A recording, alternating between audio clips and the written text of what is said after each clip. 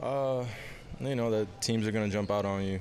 Um, you know, you got to give credit and respect when it's due. You know, they came out really, uh, you know, attacking our, our, defense and our switching. Um, you know, got up to a 10-1 lead and really never looked back after that. They played with a sense of purpose, um, very comfortable. Um, and, you know, it, it, just the tale of the, the way the, the rhythm of the game goes at times, and you got to play through it. We cut it to five, I think, with like two minutes left to go, or six with like 2:30 left to go, and then they get it back up to 18.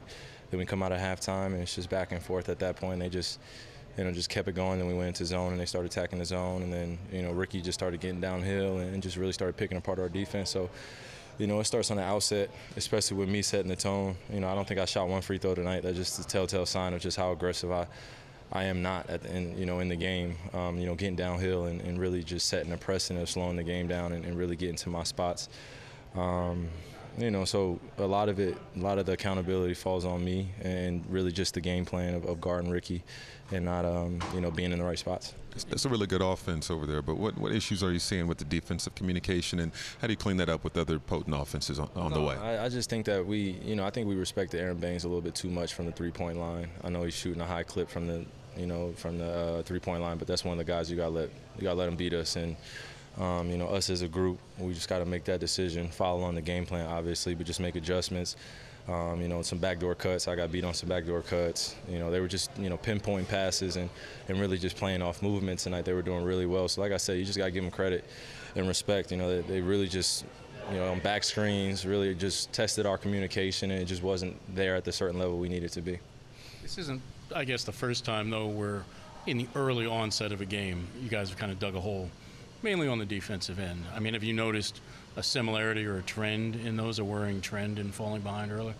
I mean, it's it's a, it's early in the season, man. Um, I don't think there's it's any time to really complicate or overcomplicate what a trend is when we're still developing as a team. You know, especially when we've had some good games where we start out very well on defensive end and other games where we haven't. So, um, you know, just got to find that consistency, and that's part of the maturity of a, of a developing team. You've been playing with a small lineup, and it's been very productive offensively. But is it harder on the defensive end when you're when you're playing small? It's basketball. Um, you know, you just got to play with a sense of purpose, physicality, and uh, you know, just be in the right spots. I, I, think that we can give up some tough twos or some tough contested shots at the rim, but uh, you know, whether we're in a small lineup or a big lineup out there, we just got to make the right decisions on that end and, and be there for one another. It's another talented team coming up in a couple of days. What, what's the number one thing that you feel as a team you'd like to clean up heading into that one against the Jazz?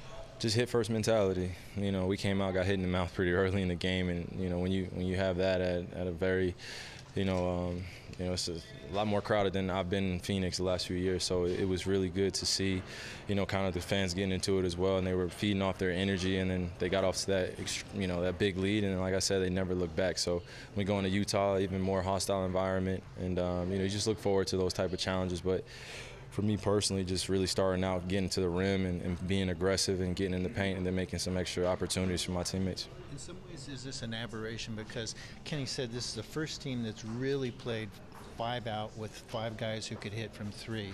Uh, were they just a little bit different kind of animal for you guys to tackle? Who, Phoenix? Phoenix, yeah.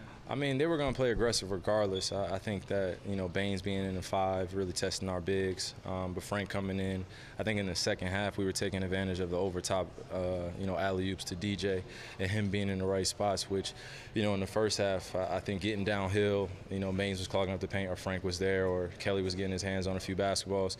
Um, you know, they were just long in the paint, really being in, you know, forcing out to our shooters, getting tough contests. And like I said, you just give credit to the Phoenix Suns tonight, just playing very well.